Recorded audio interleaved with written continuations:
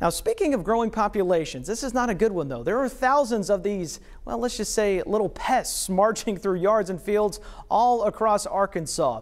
Army worms, they can destroy anything in their sights, especially grass and crops. And as Wake Up Central's Michael Aaron's going to show us in a THV 11 morning original, experts say they're especially bad this time of year. Very busy, very busy. Zach McCauley of McCauley Services in Bryant says the appearance of a certain pest has kept the phones here ringing lately. We are definitely on an uptick of armyworm calls right now. Fall armyworms, part of the caterpillar family, are especially prevalent in South Arkansas. They crawl through lawns and fields, and it doesn't take long for them to do some serious damage. Your nice yard that you paid a lot of money for and you work hard on to make look good, they will eat it up in a matter of days. According to the University of Arkansas Division of Agriculture, fall armyworms often prefer lush green, well fertilized Bermuda grass, the type often found in residential areas and yards. And they can also cause major issues for farmers. It can cause a lot of yield loss. Extension entomologist Ben Thrash says you might think this year's winter storm would help control the problem.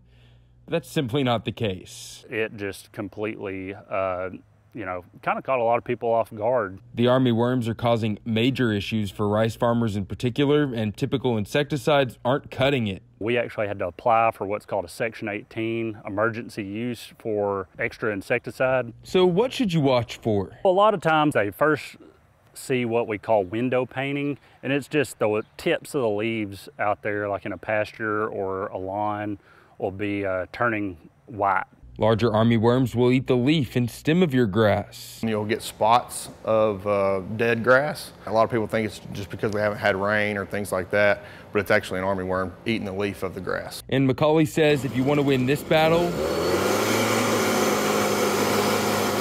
time is of the essence. The quicker you can catch it, the better off you are. Michael Aaron, THV 11 News.